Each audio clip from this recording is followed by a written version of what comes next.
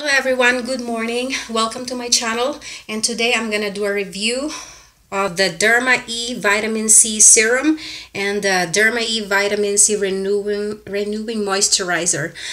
Before I use this, I've been using this for two and a half weeks now and I can see a result. I wish I, I would take a video of my before I put this on on my very first time putting it on and I believe they're vegan before I put this on I have an acne over here and over here and that one.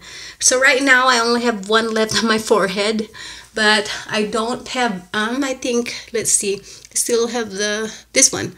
I had that before I started the moisturizer but now it's coming off. So this I'm doing an honest review.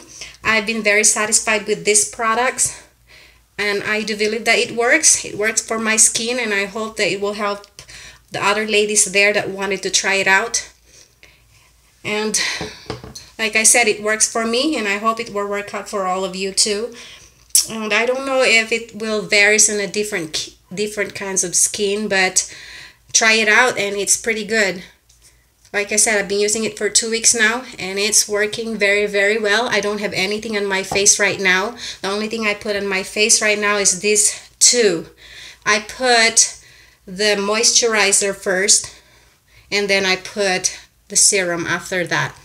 I use it every night and make sure that there's nothing on your face. Wash your face very well before you put all these two products together and like I said, it works for me. I intentionally don't put any makeup today so that you can see the result.